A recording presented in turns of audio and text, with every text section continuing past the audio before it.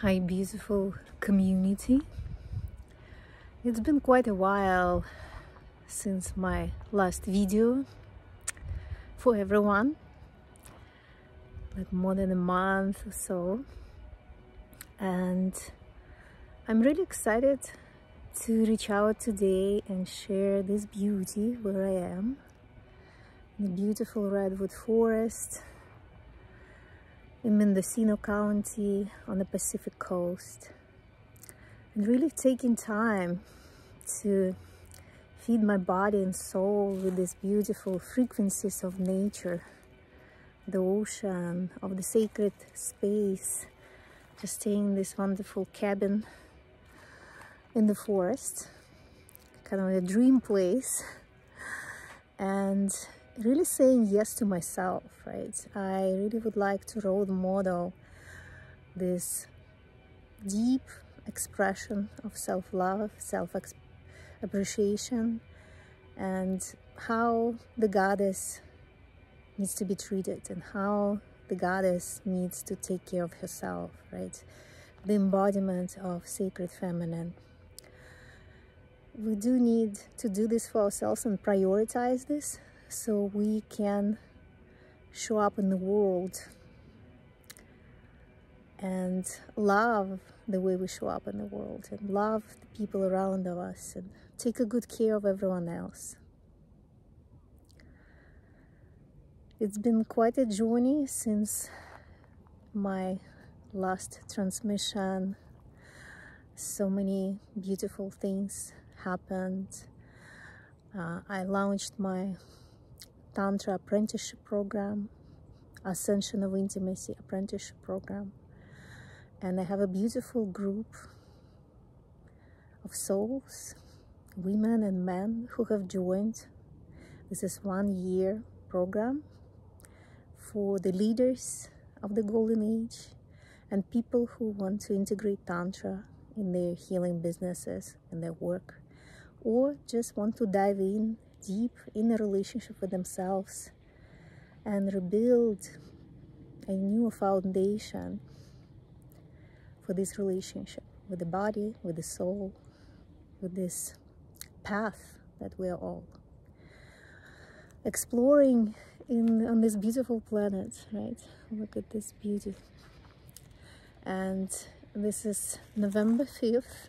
this is the election day and I was strongly guided to be alone in the forest and do my work remotely in the forest near the ocean.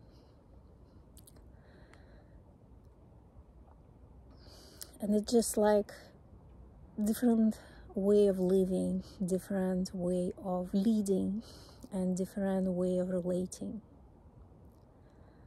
we are so focused on accumula- accumulating like material wealth and stuff you know. We have so much stuff. And the more stuff we get there are more things to look for and desire.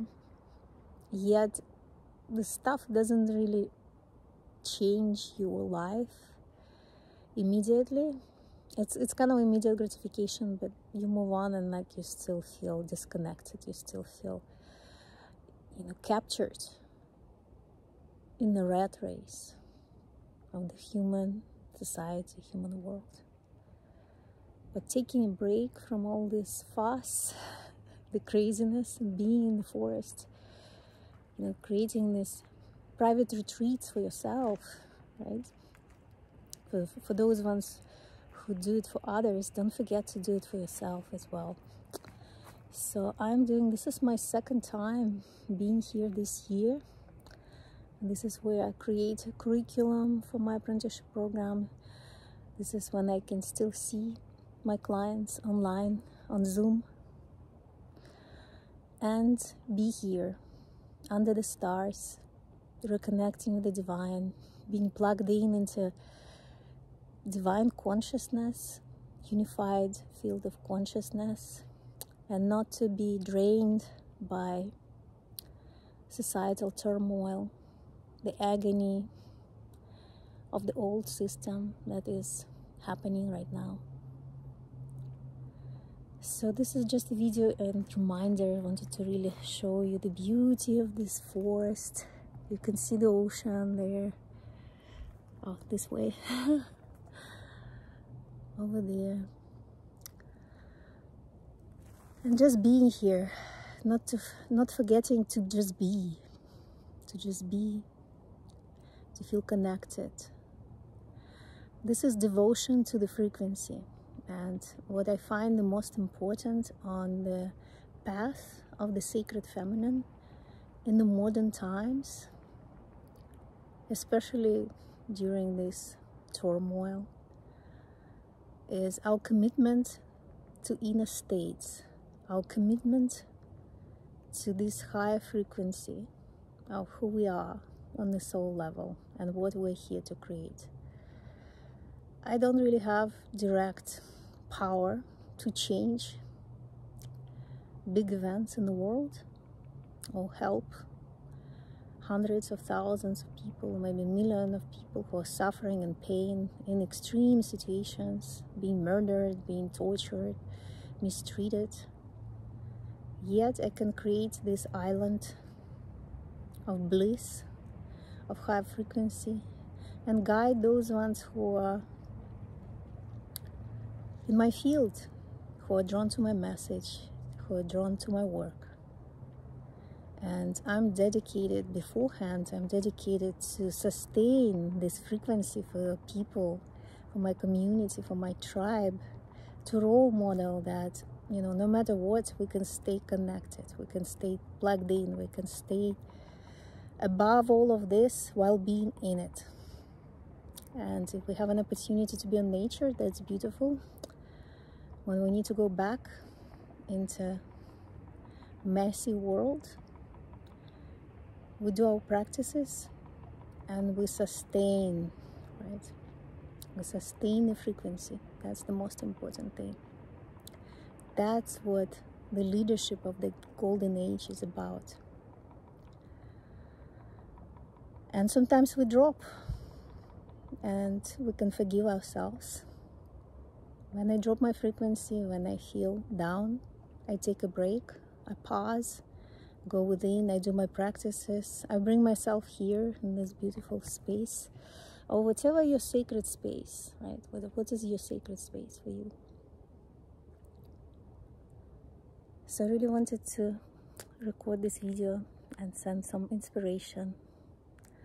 I'm back and I'm about to share more wisdom, more beauty, more consciousness work for my community. Have a few new projects that are unfolding.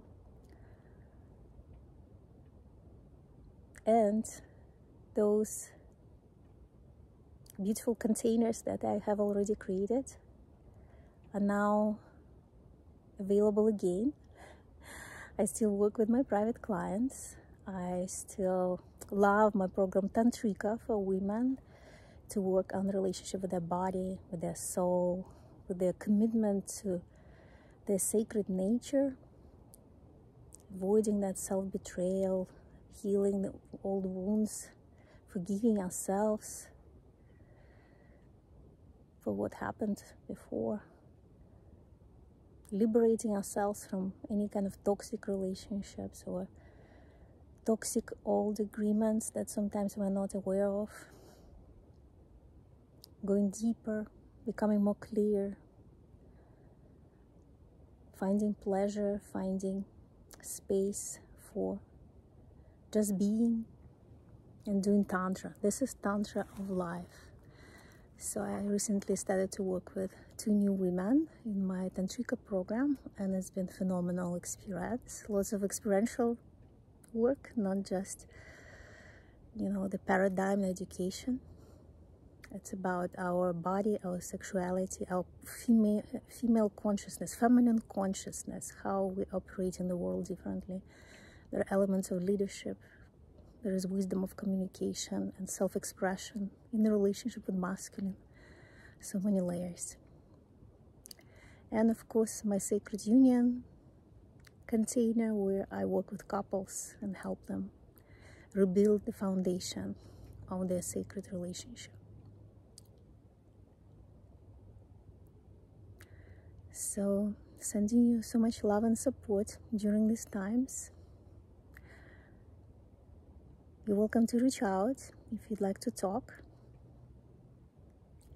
And I am creating more for you, and I'm still here.